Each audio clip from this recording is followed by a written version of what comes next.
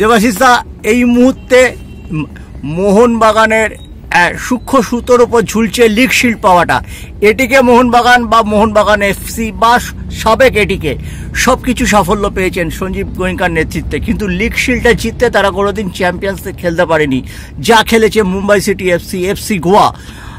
এবার মোহনবাগানের কাছে সেই সুযোগটা রয়েছে, কিন্তু কাজটা শক্ত। শেষ দুটো ম্যাচ জিততে হবে। এবং আজকে মুম্বাই সিটি এফসির সঙ্গে তাদের ঘরের মাঠে খেলা। পনেরোই এপ্রিল, ঘরের মাঠে কিন্তু মোহনবাগান লিড নিয়েও একটা পাবলিক প্রেশার হয়তো হ্যান্ডেল করতে পারছে না, হেরে যাচ্ছে। চেন্নাইয়ের কাছেই সেদিনকে হেরে গেছে।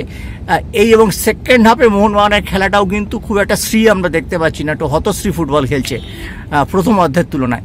এই জায়গা থেকে তুমি কি বলবে, মোহনবাগানের সম্ভাবনা কতখানি? মোহনবাগানের আমি তো বলব হান্ড্রেড পার্সেন্ট চান্স আছে। নেক্সট ম্যাচ পাঞ্জাব পাঞ্জাবকে গিয়ে দিল্লিতে খেলতে হবে। আর last match Mumbai City FC আমাদের সল্টলেকে খেলবে। সে এর পরের ম্যাচ বিএফসি হ্যাঁ পাঞ্জাবকে হারালো। পরের ম্যাচ বিএফসি তারপর লাস্ট ম্যাচ মুম্বাই সিটি কলকাতায়।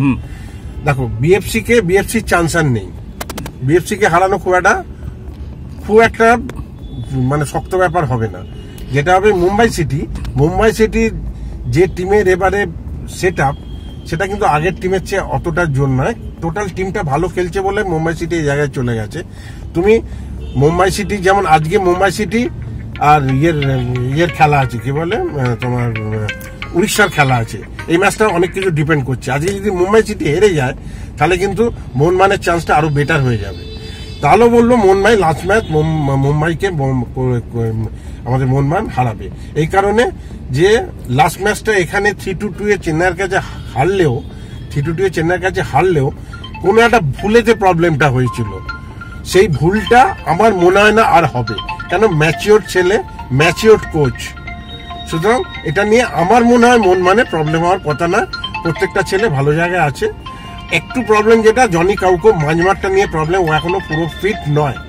আমি চাইব যে জনি কাউকে যেন ওর পুরনো জায়গাটা আস্তে আস্তে ফিরে পায়। তাহলে মন মানে ক্ষেত্রে বেটার হবে।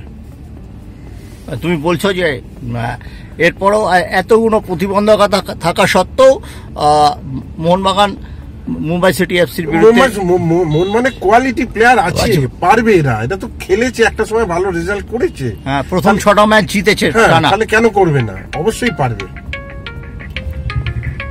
অনেক ধন্যবাদ দেবাশিস আমাদের সঙ্গে থাকার জন্য।